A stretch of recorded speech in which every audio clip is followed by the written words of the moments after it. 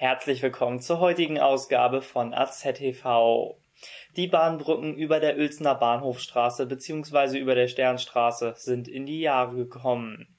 Und so hat die Bahn binnen der nächsten fünf Jahre eine Sanierung angekündigt. Was jedoch im ersten Moment gut klingt, hat für die Stadt Uelzen einen Pferdefuß.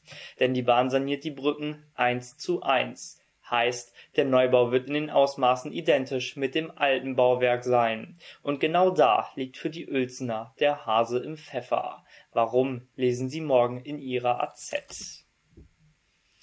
Die Kurstadt Bad Bevensen wird zur Baustelle. Ab Oktober wird die Hauptverkehrsader der Stadt, die Landesstraße 252, saniert. Autofahrer und Anlieger werden dann auf eine harte Geduldsprobe gestellt, denn knapp zwei Monate müssen sie aufgrund der Arbeiten an der Demminger Allee, Gördestraße und Röbbeler Straße mit Behinderung rechnen. Alle Details zur Baustelle lesen Sie morgen.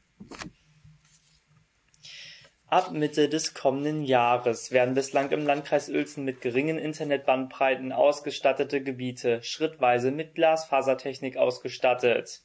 Zum Ende 2016 sollen dann Einwohner erster Dörfer, sofern sie dies möchten, mit mindestens 30 Mbit durch die digitale Welt bewegen können.